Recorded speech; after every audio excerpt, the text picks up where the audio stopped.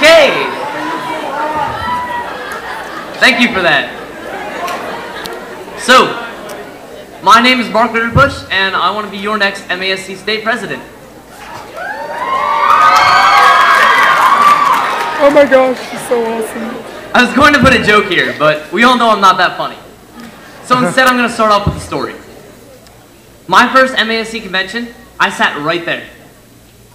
And I remember sitting there thinking, wow, those guys must be insane. In order to run for a position on the state level, you have to be. You have to be nuts. Well, since then, I've learned a few things. First, yes, I am insane. It does take a nutcase to run for this position. Just look at Michael. and second, the state level is the best way to get things done. Just a little proof that I'm insane. Each year, the Maryland General Assembly puts in about 2,300 bills. It's my job as a state legislative affairs coordinator to go over these 2,300 bills. We then go over and pull out the student-related bills, and we recommend which ones to take positions on. I did that this year while being the president of CRASC, the Chesapeake Regional Association of Student Councils. We hold about a meeting a month, including, uh, not including executive board meetings. While doing all that, I've been able to maintain an active role inside of my church and my youth group. And I've loved yes. every minute of what I do.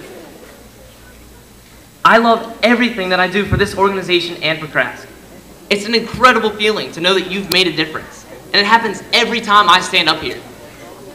Now, the reason that I keep coming back and the reason that I'm running now is that I know together we can make a difference. Like I said earlier, I was wrong in thinking that the state level can't get anything done. In fact, MASC is the best way to get things done. We have students from all across the state. We represent every student in Maryland. No other organization can say that. I've seen the difference we can make firsthand. As your state legislative affairs coordinator, every time I testify on a bill, I can see the mood in the legislators change. Every time I write or teach a workshop, I can see those students change just a little bit inside. And every time we speak in front of the Board of Education, they change their minds just a little bit.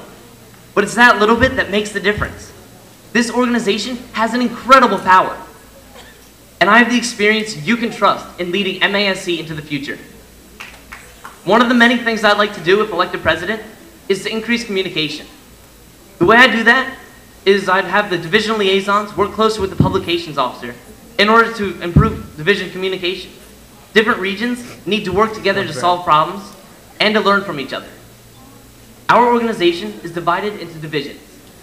Maybe we should call them inclusions, not divisions, because there should be no divisions inside of MASC. We need to work together as one student, one voice. Being in a leadership position for two years at MASC, I understand the dynamics of communication, and I understand how to communicate with all the regions of MASC.